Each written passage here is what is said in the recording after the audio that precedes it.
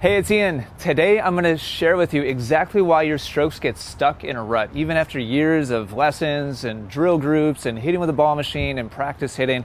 And I'm also going to share with you how you can get unstuck and finally reach your goals on the court. I'm headed someplace special so I can show you something important. So come along for the ride and we'll get started. So recently, a private student flew up from St. Louis, Missouri to work with me. His name was David. And even though David has been playing doubles for decades, a long time, he told me that his volleys were a big liability. When he was up around the net, he just didn't have the accuracy and the uh, precision that he wanted. So after a little bit of video analysis and reviewing the footage and going and comparing it with other professional players, it became really obvious what his problem was. He was doing the classic step and punch with his volleys across his body. And the biggest problem was that his timing was totally off. He was slamming down with his foot, stepping across before he hit the ball, which meant that he was wasting all of that energy and all of that momentum. And so his arm had to do all the work of kind of punching the ball and powering the shot. That's, the why this is so worthwhile. In my mind, I'm doing what yeah. you want me to do. Yeah. So we did a stroke review together, and he understood exactly what he had to do, what the change was that had to take place.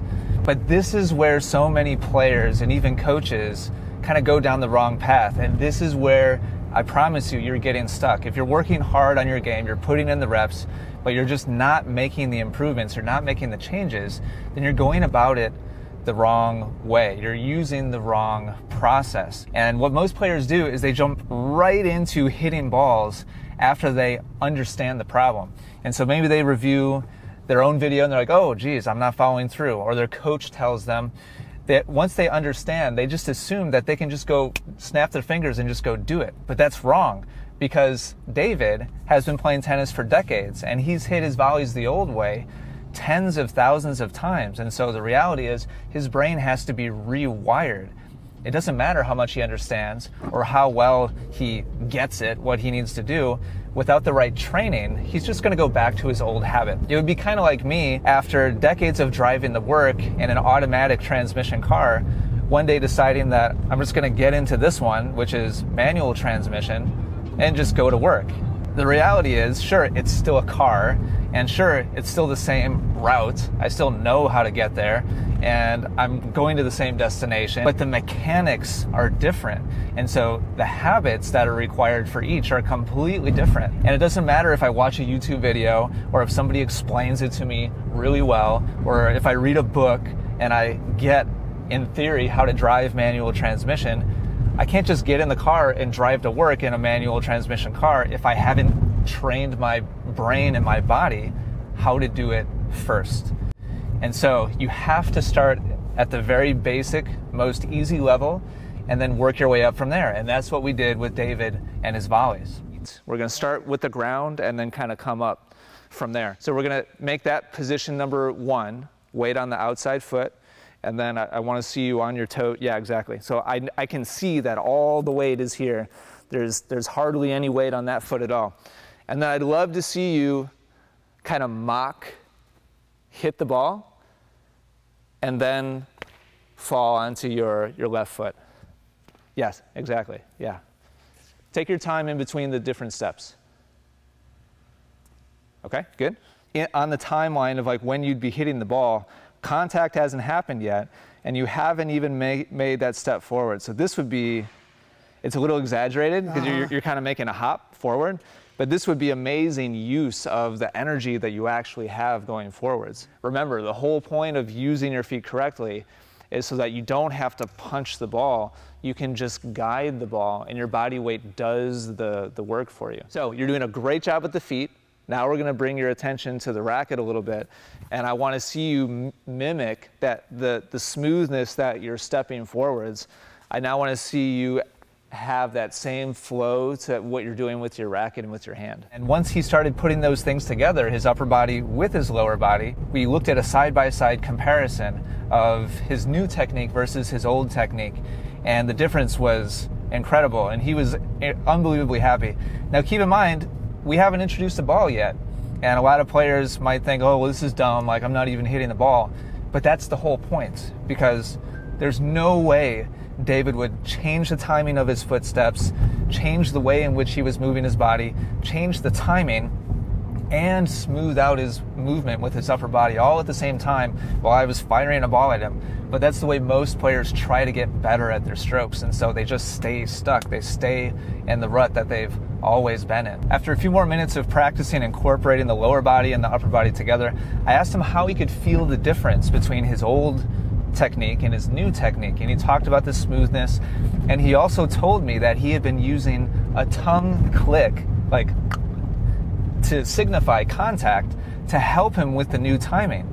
So even though there wasn't a ball there, he was actually giving himself a little piece of audio feedback and kinesthetic feedback to signify when the new point of contact would be. And this was incredible. This was such a brilliant move on his part because what he had done is added just a little micro challenge to the environment. Instead of there being no ball and no contact, he'd actually added a little um, identifier so that he could practice the timing of his movements, which was absolutely brilliant. Yeah, the, the noise is great. Go ahead and keep doing that. I was going to ask you to say hit, but but whatever whatever makes sense to you. The noise is totally fine. Okay. Hit. Now, now here's the thing. Wow, the, didn't do it. This is this is really fascinating to me. So watch the the one before you said hit. I want you to watch how your racket moved. So you were just kind of making the click sound here. Look at the position your racket finished in. Mm-hmm. this I I can't I can't get enough of this. Now watch this. This is one where you said hit. Yeah, I wasn't smooth. I didn't put the racket out. Isn't that crazy? Yeah. I believe I believe I don't care what anybody says.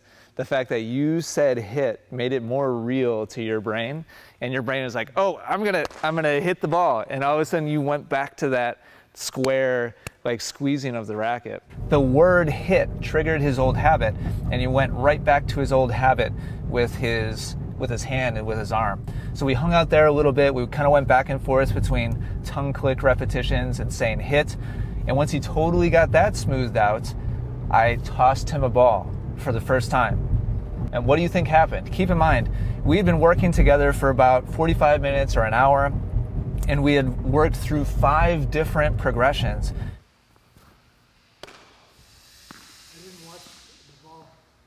What happened with your feet? I don't know.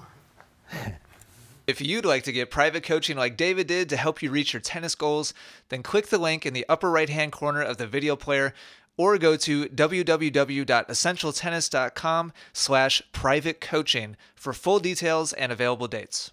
Ah, the ball, the ball, the ball. The ball's the hardest part. Here's your setup position. Here's, here's what happened with your feet. I didn't even move. this is why tennis is hard. Because it, it doesn't matter how well you know what you're supposed to do. As long as the ball acts as a trigger, which it does, to pull us back to our old habit, all of a sudden you're, you're I don't know what you were focusing on here. Like he went right back to where he started an hour ahead of time. And this is where most players would get frustrated, they would quit.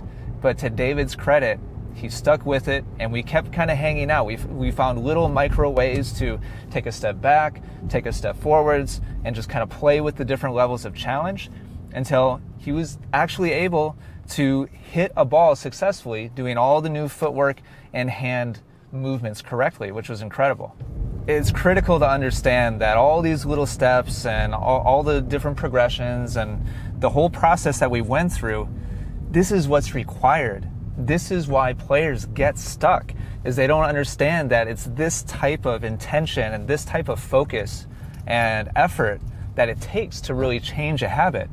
And so they never go through it because they don't know that it's required or they understand and they know that it's required and they just don't have the patience and they don't want to put in that kind of work. Okay, we're here at that special place I was telling you about. Let's go check it out.